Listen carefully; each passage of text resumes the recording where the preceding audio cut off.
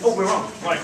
The temperature of a freezer is minus 20. A container of liquid is placed in the freezer. The rate at which the temperature of a liquid decreases is proportional to the difference in temperature between the liquid and its surroundings. What's that that we just described?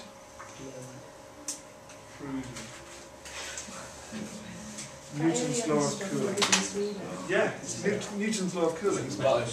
This situation is modelled by this differential equation. d theta by dt is minus k times theta plus 20, where time t is in minutes and k is a positive constant. Notice how this is written. As k is a positive constant, pick up on this now, because that's going to be important to check that we've got the right answer later on. k is a positive constant. Express theta in terms of t, k, and an arbitrary constant. So this is basically saying, go from this differential equation to write what theta is in terms of the other stuff. We need to end up saying what theta is. Well, if we're going to get from d theta by dt to what theta is, we're going to have to separate the variables and integrate and do that bit. So part one, um, if we're going to do that, we need to have everything involving theta on the left, because d theta is on the top there, and everything not involving theta on the right. So we're going to have 1 over theta plus 20, d theta by dt is minus k. Now we're going to integrate both sides with respect to t.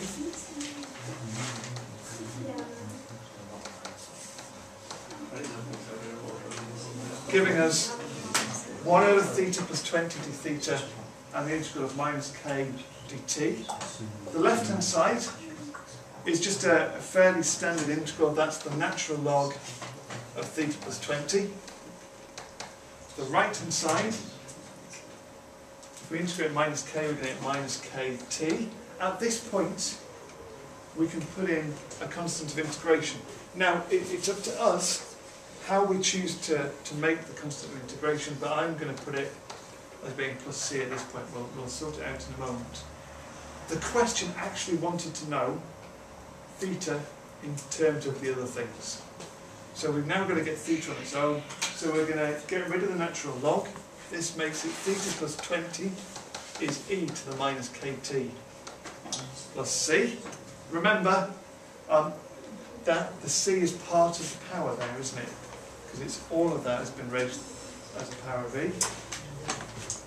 So a correct answer would be theta is e to the minus kt plus c minus 20. Or, as is often the case in this kind of question, it might be convenient for us to think about the c bit, the, the constant of integration, as being, if this is minus kt plus c, this means it's e to the minus kt times e to the c, because you add the powers. So we can write this as being a e to the minus kt minus 20. Because that is going to be helpful later on. All we've done there is taken our e to the c and written it as, as a capital letter A. That's our first three marks. Part two. Now we start getting some useful information to decode that. We're told that when T is zero, the temperature is 40. And at this instant, the liquid is cooling at a rate of 3 degrees per minute. The liquid freezes at zero. So uh, we've, got, we've got a lot to deal with in there. Uh, how should we work our way through that? To start with, we've got that when T is zero, the temperature is 40. Let's see how that helps us. If T is zero, theta is 40, that means that 40 is a e to the 0 minus 20. If we rearrange that, our constant then is 60. So that's quite a good start. What else did it say there? It told us that the liquid is cooling at a rate of 3. Now cooling at a rate of 3, so the temperature is going down at a rate of 3 degrees per minute. So when T is 0,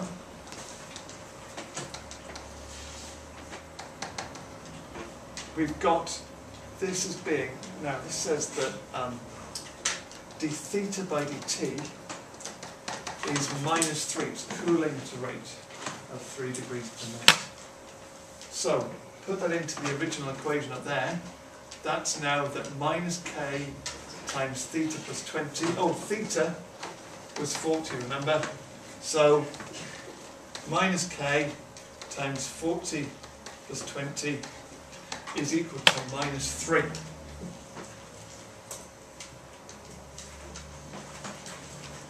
Minus 60k is minus 3, so k is 3 over 60, which is the same as 1 over 20. We've got the value of k. Even if we've made a mistake and we've put that as being plus 3, at this point we could have noticed, because the question clearly said that k was a positive constant, so getting a negative value of k should have rung some alarm bells. Um, it quite often didn't.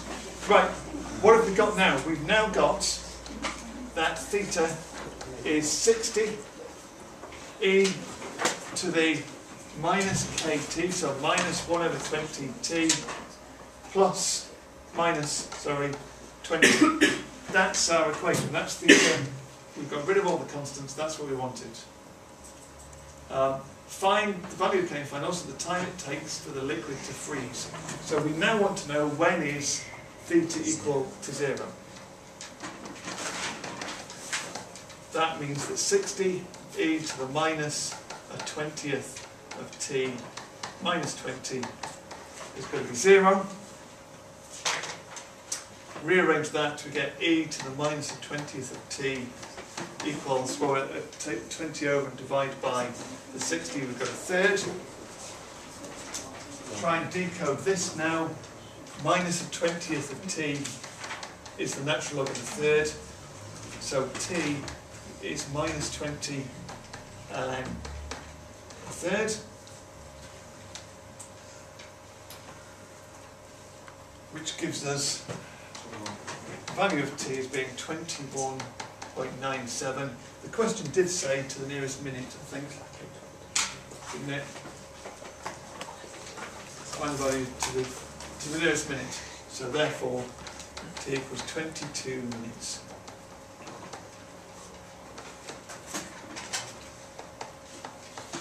And that would be our answer.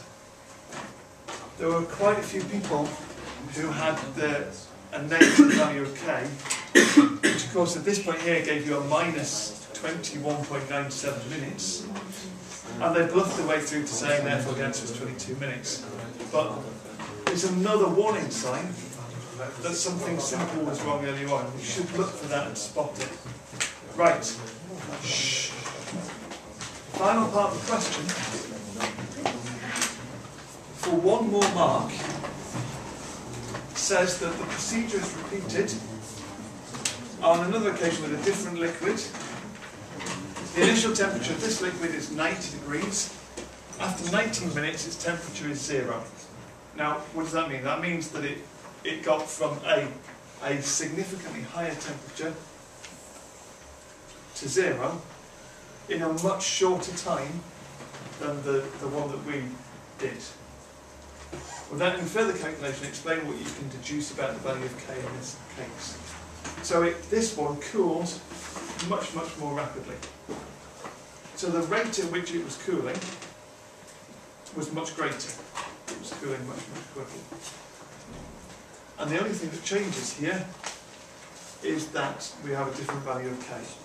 If it's cooling an awful lot quicker, what does that mean about the value of k? It has to be larger, doesn't it? This, this has to be a greater amount because it's cooling quicker, so k must be larger. That's all we need to write. For the final part, k is larger. That'll be it. Thanks, James.